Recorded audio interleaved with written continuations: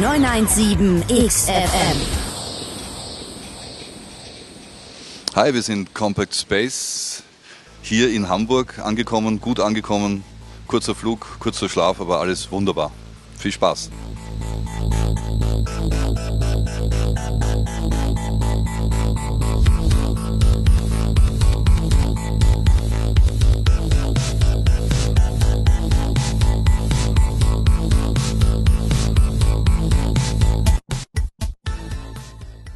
Also Compact Space, das war keine, keine geplante Sache. Das ist passiert. Irgendwie so, dass das äh, Christian und ich kennen einander jetzt schon über ein Jahrzehnt. Also ich denke, das sind jetzt fast so 15 Jahre oder so. Und haben immer wieder irrsinnig viele Sachen zusammen gemacht.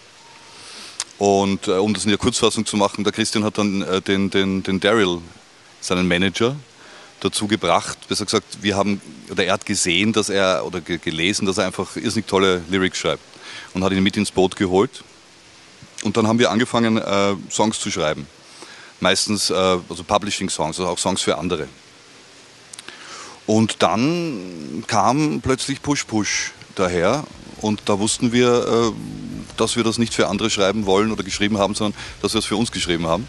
Und deswegen, äh, da von dem Zeitpunkt an gab es dann die Band. How could you not see all the signs I show? Push, push hard until you're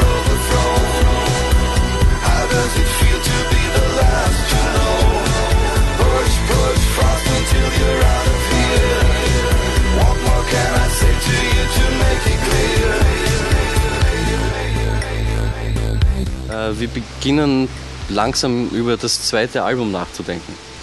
Wir werden das, so wie es aussieht, heuer noch schreiben und aufnehmen und es wird eine relativ schnelle Momentaufnahme werden. Was, was auch damit äh, zu tun hat, dass wir eigentlich uns dachten, wir, wir würden gerne live spielen, aber man sollte nie den Fehler machen, nach dem ersten Album live zu spielen, weil einige der Songs nicht dafür geeignet sind. Was passiert dann? Du hast zu wenig gute Songs, um eine wirklich gute Live-Show zu machen. Das heißt, zweites Album machen und dann mit den besten Songs aus dem ersten und zweiten eine Tour zu machen.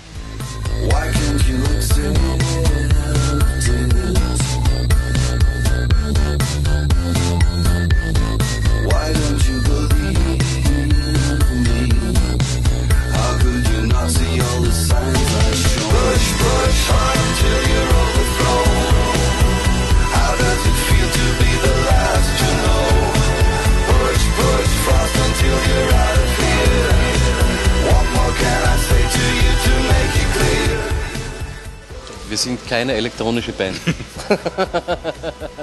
Genau, das wurden wir noch nie gefragt. Seid ihr keine elektronische Band, wurden wir noch nie gefragt. Das wäre eine super Frage mal. Seid ihr keine elektronische Band, würde ich absolut mit Ja beantworten.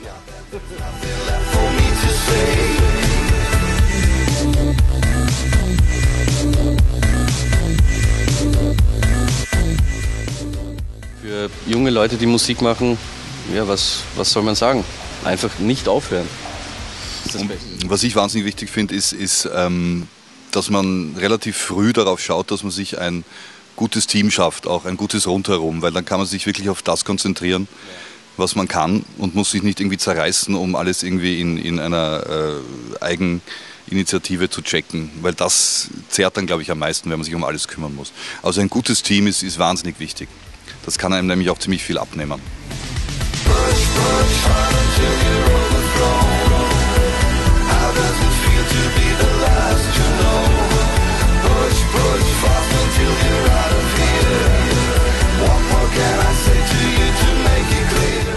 Wie stellen wir uns die Zukunft vor? Ähm, ich kann darauf wahnsinnig schwer antworten, weil, weil, weil ich mein Möglichstes tue, im Hier und im Jetzt zu leben. Ja, Ich glaube gar nicht so futuristisch, wie sich alle die Zukunft vorstellen. Das ist irgendwie, alle stellen sich die Zukunft so wahnsinnig futuristisch vor. Ich glaube, dass es sehr viele Dinge gibt, die, die sehr schnell wieder zu den Roots zurückgehen werden. Da werden wir uns alle noch ziemlich wundern, wenn wir so lange leben und das zu erleben. Aber ich glaube gar nicht, dass das so arg geht. Da spielen ein paar Leute mit, mit ein paar Sachen, die sie da in irgendwelchen Designersachen machen. Es wird vielleicht immer mehr Basic oder es wird zurückgehen zur Basis. Genau. Und zwar in allen Dingen, in der Mode, in der Musik. Ich finde das, Menschen, mit, Menschen miteinander umgehen zum Beispiel.